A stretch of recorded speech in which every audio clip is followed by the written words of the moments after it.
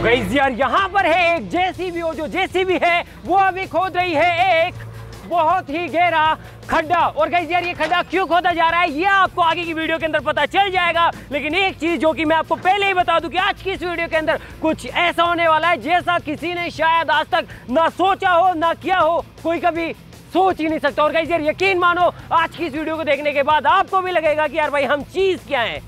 ठीक है गाइस और साथ ही साथ आपको इस वीडियो को शुरू से लेकर एंड तक पूरी देखना है, बिल्कुल देखना है। और हम धीरे धीरे आपको चीज़ें बताते जाएँगे। और साथ ही साथ गाइस अभी मैं आपको कह देता हूँ कि आपको चैनल को सब्सक्राइब कर लेना है। वो भी अभी के अभी। तो अभी के अभी जिसने भी चैनल को सब्सक्राइब नहीं किया, वो चैनल को सब्सक्राइब कर दो। इस वीडियो का लाइक हम रखते हैं वन मिलियन लाइक्स और वो क्यों रख रहे हैं, वो भी आपको आगे की वीडियो के अंदर पता चल जाएगा।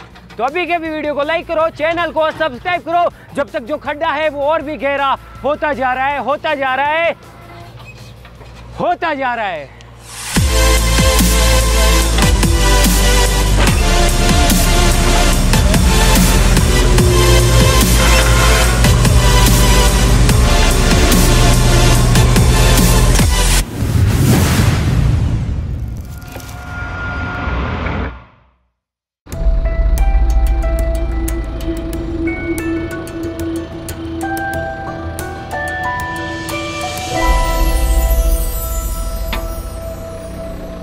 गाइस यार ये जो खड्डा है इधर आओ इतना गहरा ये कोई खड्डा नहीं है बल्कि ये है एक कब्र जी हाँ गाइस और इस कब्र के अंदर आज हम इस ज़िंदा का को दफन करने वाले हैं। जी हाँ गाइस ये गाड़ी जब हमने पानी के अंदर कुदाया तो उसके बाद में हमने इसे मैकेनिक के पास लेके गए, लेकिन उसने ज़्यादा कुछ भी नहीं किया, धक्का लगाया ज़ोर से, और ये गाड़ी बिल्कुल स्टार्ट हो गई। तो आज की इस वीडियो के अंदर हम इस ज़िंदा कार को इस खड्डे के अंदर दफन करने वाले हैं, और ऐसा हम क्यों कर रहे हैं, ये आपको वीडियो के एंड में पता पड़ेगा, ठीक है? तो वीडियो एंड तक देखना तो इसे दफनाने के लिए हमें एक बड़ी क्रेन की ज़रूरत पड़ेगी। लाओ, लेके आओ, जल्दी जाओ!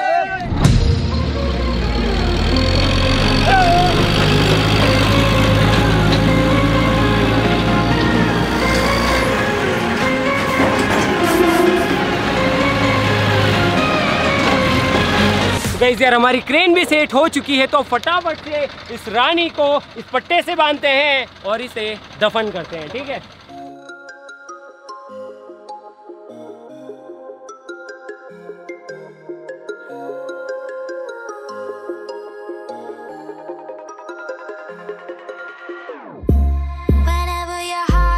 Broken,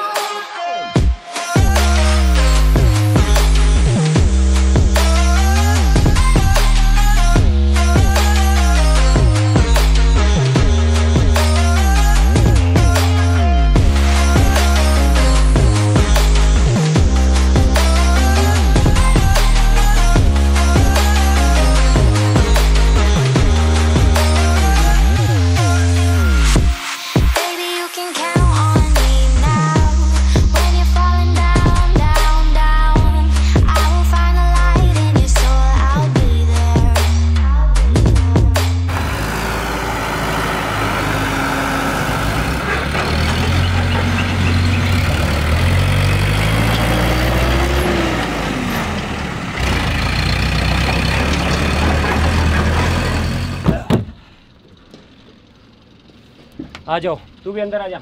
ला इधर दे। आ जा। तो गाइज़ यार, अब आप गाड़ी को एक बार और अंदर से इंजन की कंडीशन सारी चीज़ें देख लो, क्योंकि आपका देखना ज़्यादा ज़रूरी है। तो अंदर से देख लो, अंदर से अभी हमारी गाड़ी की जो हालत है वो कुछ इस तरीके की है। देखो सीट कवर इंजन वगैरह इंजन इन अंदर का जो इंटीरियर है, वो सारी चीज़ें कुछ इस तरीके की है, ठीक है? शीशे वगैरह इस तरीके से हैं। बोनट भी आपको मैं खोल के दिखा देता हूँ, मोटे। इसका इंजन का बोनट खोल। बोनट भी अपन पब्लिक को दिखा देते हैं। तो यार, एक बार आप इंजन को भी अंदर से काफ़ी अच्छे से देख लो। अभी देख लो कि ये जो इंजन है, ये बिल्कुल ए वन कंडीशन के अंदर है। तो कहीं यार, बातें बहुत हो गई फटाफट से इसे बंद करते हैं और इसे पूरी तरीके से मिट्टी के अंदर दफन करते हैं। आजा।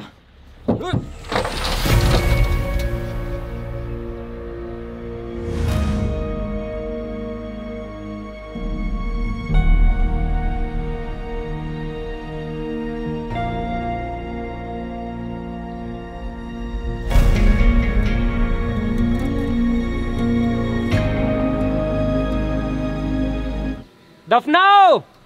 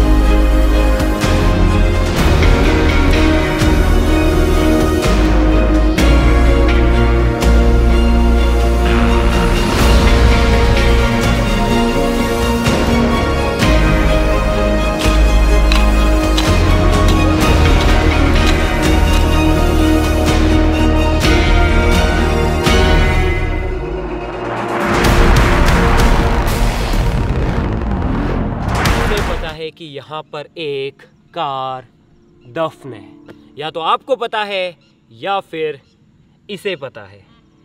गाइज़ यार, ऐसा करने के बाद है ना, सच बता रहा हूँ, दिल से मैं काफ़ी ज़्यादा नर्वस फील कर रहा हूँ। वो कहते हैं ना, दिल भर जाना। दिल भर आना जो भी हो। तो गाइज़ कोई भी चीज़ हो यार, अगर आप उसके साथ में कुछ टाइम स्पेंड कर लेते हैं ना तो आपका उस चीज़ से दिल लग जाता है। तो ठीक है, ऐसा ही इस कार के साथ में भी था। खैर, हमने इसे अब दफन कर दिया है इस मिट्टी के अंदर। तो मतलब एक अलग सी फीलिंग आ रही है, जैसे कि अपन ने किसी अपने साथी को मतलब यार, खैर, छोड़ो। ये सारी चीज़ें अपने को शोभा नहीं देती है, अपने को शोभा देती है जोश। तो गाइज़ यार, अब मैं आपको बताता हूँ कि हमने ऐसा क्यों किया है, हमने क्यों इस कार को इस तरीके से दफन कर दिया है। तो गाइज़ यार सीधी सी बात है कि इस दुनिया के अंदर कोई भी चीज़ अमर नहीं है, हर चीज़ का अंत आता है। और अगर ऐसे अंत नहीं आता है तो मदर नेचर उसका अंत कर देती है, उसे डिकम्पोज कर देती है। चाहे दुनिया के अंदर कोई भी चीज़ हो, उसका एक वक्त रहता है। धीरे धीरे धीरे धीरे वो डिकम्पोज होना, यानी कि ख़त्म होना शुरू हो जाती है और वो काम करती है मदर नेचर तो हम भी इस कार के साथ में यही चीज़ देखना चाहते हैं कि इस कार को हमने दफन कर दिया है और हम इसे अभी वापस नहीं निकालेंगे, बल्कि काफ़ी लंबे वक्त के बाद में इसे बाहर निकालेंगे। और तब तक हम ये देखेंगे, या फिर जब निकालेंगे, तब ये देखा जाएगा कि इतने वक्त के अंदर मदर नेचर ने हमारी कार को किस तरीके से डिस्ट्रॉय किया है। क्या उसके अंदर जंग लगी है? क्योंकि आपको पता है कि टाइम काफ़ी लंबा होने वाला है तो अभी बारिश का मौसम है, बारिश आएगी, जाएगी, धूप आएगी डूब जाएगी, ज़मीन सूखेगी, फिर से आएगी। अंदर कई सारे पेड़ हैं, उनकी जड़ें भी ज़मीन के अंदर है, जो कि क्या पता कार को इफ़ेक्ट करेगी। कई सारे कीटाणु हैं, कई सारे जीवाणु हैं जो कि मतलब कि कार के इंटीरियर को ख़त्म करेंगे या फिर जो भी चीज़ें होगी, वो देखी जाएगी एक लंबे टाइम के बाद। और गाइज़ यार, वो टाइम होगा करीब करीब छ महीने। तो ये वीडियो भी कंप्लीट नहीं हुई है, हमने इसे भी दफन किया है और इस कार को हम छः महीने बाद बाहर निकालेंगे और फिर देखेंगे कि भाई कार की क्या हालत है। हमने इसे चालू कंडीशन के अंदर दफनाया है फिर देखेंगे कि क्या तब भी हमारी गाड़ी स्टार्ट रहेगी या फिर नहीं रहेगी। वक्त का किसी को भी नहीं पता है। तो छः महीने बाद इसका पार्ट टू आएगा। तो गई यार, अब आप लोगों से एक रिक्वेस्ट जो कि मैं करना चाहूँगा। तो मेरे लिए तो ये टारगेट है कि भाई छः महीने बाद इसे बाहर निकालेंगे, लेकिन आपके लिए भी मैं एक टारगेट सेट करता हूँ कि छः महीने के अंदर अपनी जो फैमिली है, वो भी बीस मिलियन की हो जानी चाहिए। ठीक है गाइस कब तक यार, कब तक ऐसे धीरे धीरे चलेंगे? बढ़ाते हैं ना अपनी टाइटेनियम आर्मी को तो आपके लिए टारगेट है। और हमारी तरफ़ से हम दिल लगा के मेहनत करेंगे कि हर महीने करीब करीब हम एक मिलियन सब्सक्राइबर्स तो अपनी टीम के अंदर, अपनी फैमिली के अंदर, टाइटेनियम आर्मी के अंदर जोड़े। तो मंथली टारगेट है हर महीने एक मिलियन तो ऐसे करते हुए छः महीने के अंदर अपने बीस मिलियन भी हो जाएँगे। अपना टारगेट भी पूरा हो जाएगा और छः महीने बाद हम इस कार को बाहर निकालेंगे।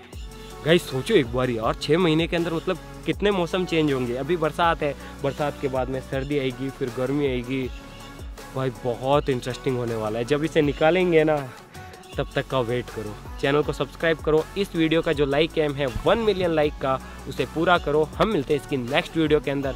गाइस कर देना यार। देखो, जब मैं चाहता हूँ कि मैं इसे तभी निकालूँ जब अपने बीस मिलियन हो जाए। और छः महीने का टारगेट है आप लोगों के लिए। कर देना यार। जय हिंद जय भारत।